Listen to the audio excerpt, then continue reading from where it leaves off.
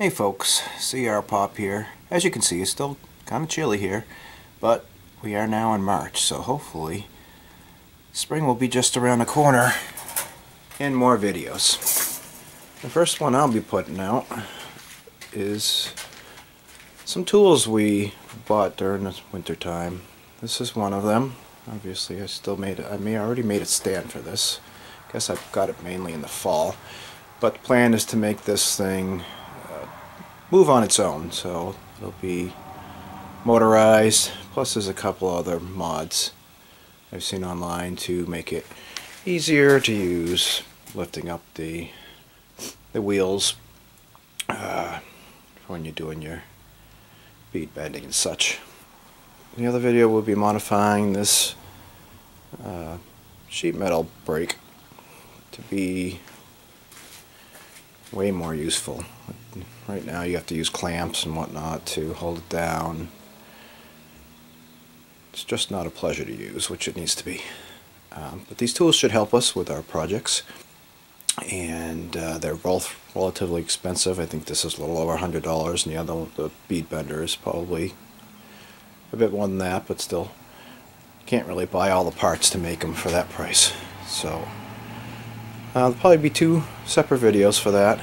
Um, and yeah, that's what we got going on right now. And hopefully stuff will be coming along soon in the very near future. Thanks. Moving forward on this chain-driven, motor-driven metal brake, um, found a, I bought a, it's pretty much all I bought so far is this collar a set screw that happens to be the size of the pan. I think it's one inch maybe. I had this this sprocket from a snowblower and actually this was attached to it. I cut it off, cut this gear off of that and popped the center out and it happens to fit perfectly on there. Um, same size hole. Slid it on there, tacked it, not finished welding it of course. Uh, and I have this one that's going to run it. And then I have this 14 volt Ryobi with a low speed It actually goes pretty low and has a pretty good amount of power. So this gets chucked into there and is going to sit under here to run it.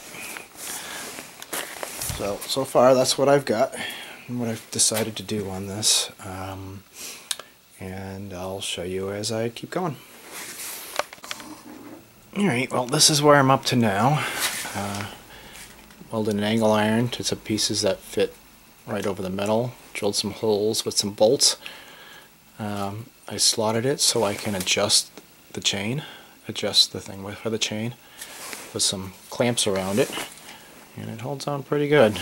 Um, I think what I'm thinking about doing is taking the switch out of it and mount it on pedal of some sort on the floor. Um, anyways, it, seems to spin pretty good. It's got pretty good torque, and that I mean, this is machine's really not made for super thick metal, anyways. So uh, we'll give that a try. The only thing I'm not sure about is because this is all plastic, this flexes a lot. I can see it kind of bending slightly. Um, it's possible I could fix that by putting a pin through with something to, some sort of bearing to hold that to make it to make it steady. I don't know. We're not there yet. Uh, I'll try it like this for a while. And I also added the spring here to pull this up, pull up the top one uh, when you loosen it. Um, so yeah, that's what I got thus far. I'm just powering off a car battery. And that's all we got. We'll see how it goes.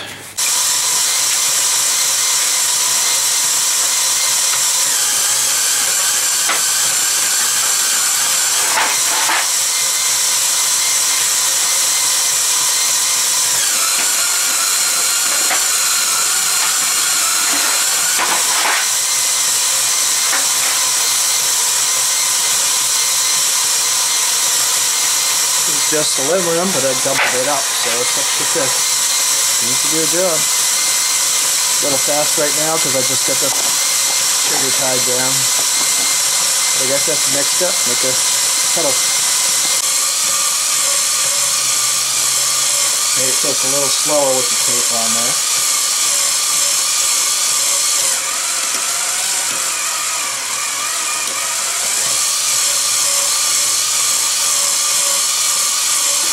Job. At least for what I need it for. Way better than moving doing it by hand. hey there. So it's another day. I did some more work on this recently. Uh, the the drill is clamped in properly now. Um, I removed the trigger, added a wire from the motor down to this little contraption, which is on a piano type hinge. The uh, switch is glued into place, just hot glue. Uh, has a some kind of component there that controls the speed, I'm assuming. It can do right and left. And I put, I put a groove in the piece of wood so it would sit in there, and a groove in here so it's kind of at the right angle when you run it. Um, so the battery terminals are here.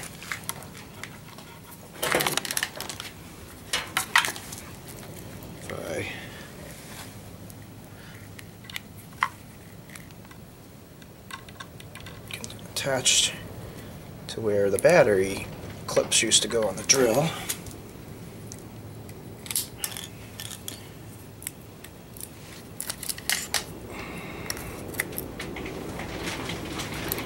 It is windy right now.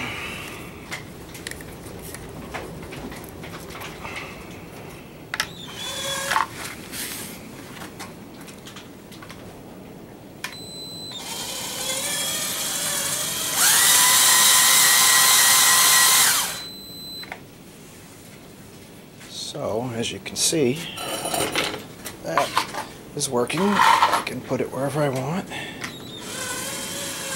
Actually in the wrong direction right now, so that's the other direction. And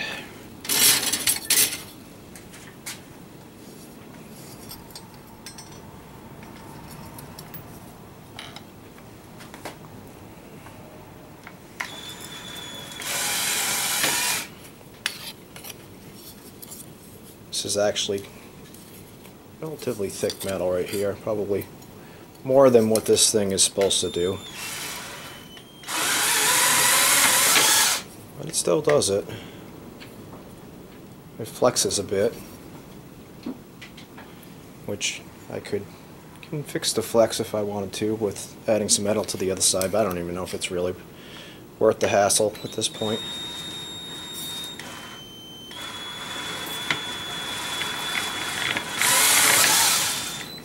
Really like the control.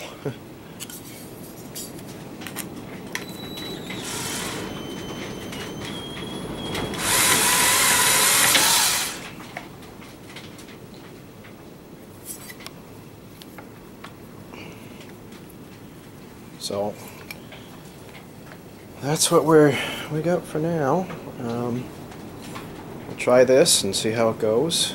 Looks like it should be pretty decent make the panels, floor panels and such. Uh, so they don't ripple and such when they're in the car and they're stronger obviously structurally. Um, but yeah, that's what we got for this guy. We'll see how it works out. And if we update it some more, I'll tell you. Thanks for watching.